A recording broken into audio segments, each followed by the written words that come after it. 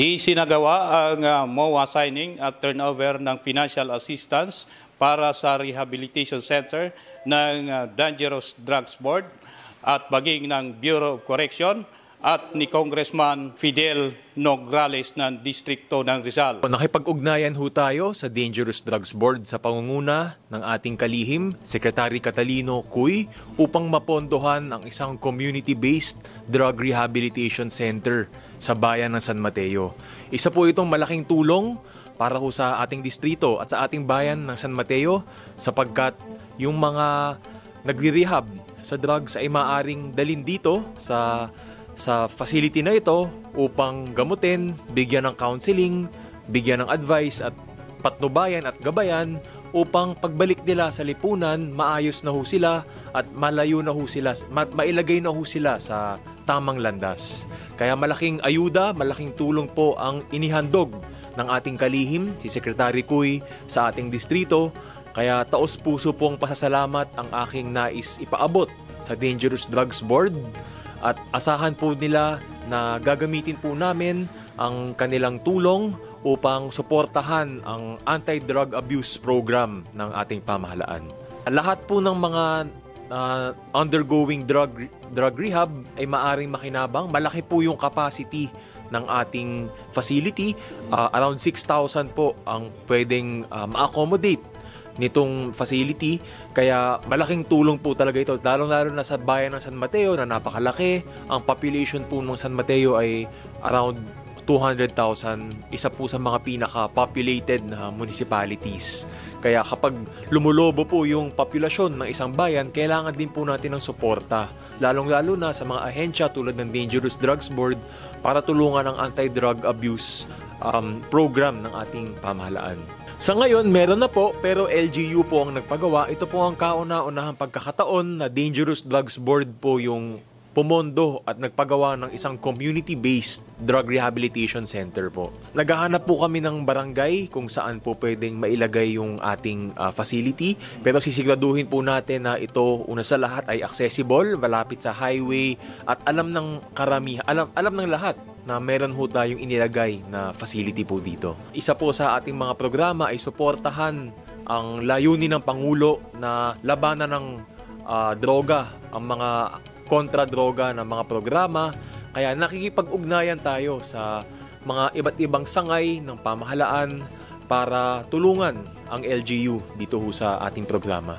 Ako po ang katuwang ng ating kalihim, Secretary Catalino Cuy sa Kongreso, lalong-lalo na sa paghain ng mga panukalang batas na magbibigay mag, na mag, uh, magtataguy o isusulong ang kontra-droga programa ng ating Pangulo. Kaya kapag siya ay may mga panukalang batas na nais isulong, sa akin niya po pwedeng idaan sapagkat pwede ho natin ito ihain sa kamera po. Okay. Ako po ay nananawagan sa taong bayan na suportahan ang mga layunin at programa ng Dangerous Drugs Board na labanan ang kon, uh, ang bawal na gamot, ang mga drugs at suportahan ang Barangay Anti-Drug Abuse Council sapagkat ito po yung mga uh, counterpart agencies ng LGU na na malapit sa lipunan, kumbaga nasa grassroots upang isulong upang tugunan ang mga pangangailangan, ang mga problema sa droga?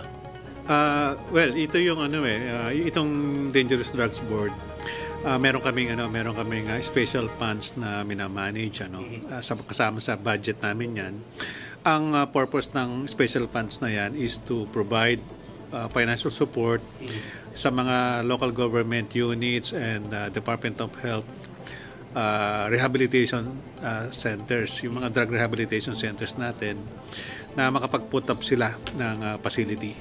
Now, for the local government, katulad ng sa San Mateo, uh, i- dalawa yan eh. Either they they put up a uh, inpatient rehabilitation uh, facility or yung tinatawag nating outpatient or uh, community-based rehabilitation program facility.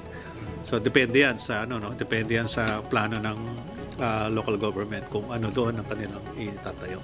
But all of this is uh, in in support doon sa ating campaign on uh, illegal drugs more particularly doon sa rehabilitation and uh, reintegration ng mga drug dependents. Every year meron tayong ano eh uh, nagsimula to matagal na eh. nung nagkaroon tayo ng DDB nung 2002 nagsimula na yan eh. So every year meron tayong sets of beneficiaries.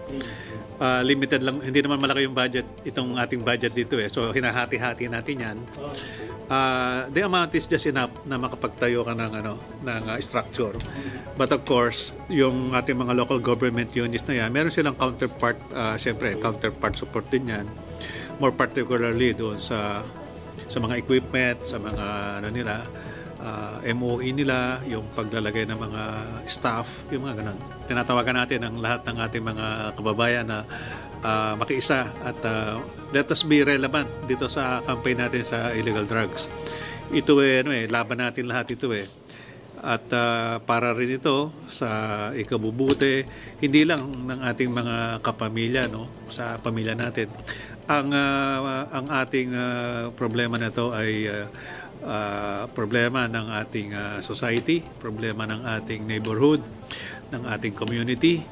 At uh, walang ano rito, hindi pwede yung uh, bystander dito or pen sitter, kailangan na involved ka. So I urge uh, all our uh, concerned citizen na makiisa sa ating uh, pamahalaan sa campaign at sa panawagan ng ating uh, ni President uh, Rodrigo Duterte na labanan at uh, sugpuin at uh, let's put a stop dito sa illegal drugs. Joel Amongo nag-uulat para sa periodiko Filipino Channel.